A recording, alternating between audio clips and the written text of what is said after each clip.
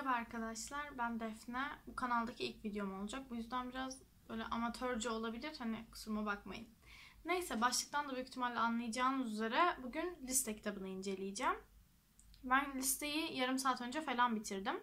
Bu yüzden duygularım çok taze diyebiliriz aslında. Şimdi size ilk konusundan bahsedeyim. Ee, Ark diye bir yer var ve bu yer aslında dünyanın başına felaketler geliyor 2020 gibi. Ee, ve bu felaketlerden sonra dünyadaki en güvenilir yer olarak söyleniyor Ark. Ee, ve burada işte normal yaşayan insanlar, normal, bizim şey İstanbul gibi bir yer düşünün, Türkiye gibi bir yer düşünün. Normal işte yaşayan insanlar, burayı yöneten biri ve işte kelime ustaları var. Kelime ustaları şu. Kitapla uğraşan, işte şiir yazan, yani kelimeleri kullanarak sanat yapan kişilere kelime ustası deniyor. Onların anlamlarını her türlü bilip onların anlamlarıyla işte mesajlar vermeye çalışıyor. Böyle kişilere kelime ustaları deniyor. Buranın başında da Noah var. Noah diye biri. Noah kelimelerin yasaklanması gerektiğini düşünüyor. Yani daha doğrusu kelimelerin insanları yönetmeyi imkansızlaştırdığını düşünüyor. Neden? Çünkü kelimeler varsa insanlar birbirini bir şey konusunda ikna edebilir. Kelimeler varsa insanlar bir şey için bütünleşebilir. Kelimeler varsa insanlar soyut kavramlara dalıp işte mesela şarkı dinlemek. Şarkı dinleyerek eski duygularını hatırlayabilir, isyan çıkartabilir. Yani bu, böyle şeyler yapabilir. Bu yüzden bir kelimeleri yasak, daha doğrusu yasaklamıyor ama 500 kelimelik bir liste yaptırtıyor kelime ustalarına ve bu 500 kelimenin dışında bir kelime kullanılamıyor.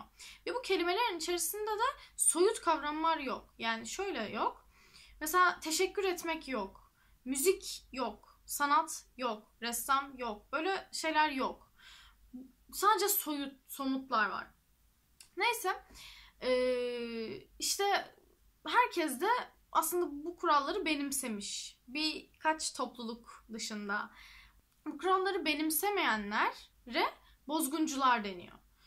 Yani öyle şey terörist değil yani adam falan öldürmüyorlar. Ama bu zamanki teröristlere bakış açımızla onların bozgunculara bakış açısı aynı. Öyle düşünün.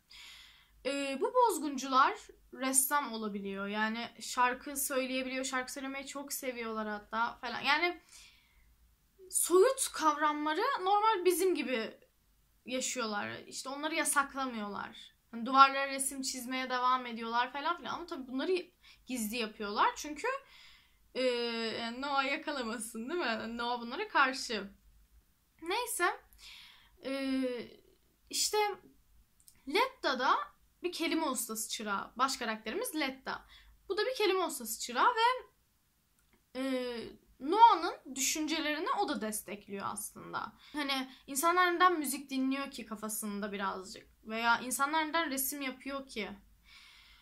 Ama aslında bu kitapta bu kafasının tamamen değiştiğini görüyoruz. Yani kafasında kurduğu yararlı ve zararlı şeylerin aslında sadece bir tiyatro sahnesinde gördüklerinden ibaret olduğunu görüyoruz. Sonuç olarak e, kitap bence çok iyiydi. Yani hem duyguyu vermek olsun hem durağan bir kitap asla olmamasından olsun sürekli bir olay olmasından olsun hem de gerçekten yani en etkilendiğim kısım bırak o kelimelerin önemi falan filan gerçekten Letta'nın bütün hayatı boyunca inandığı şeylerin yıkılmasını okumak çok aşırı güzeldi.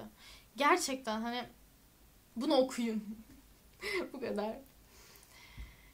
Ee, bu benim ilk videomdu. Hani bu yüzden böyle heyecanlanmış, kötü yorum yapmış falan filan olabilirim. İnşallah ikinci, üçüncü videom daha güzel olur öyle diyeyim yani. Öyle. Hadi görüşürüz o zaman. Benim kitap yorumum bu kadardı.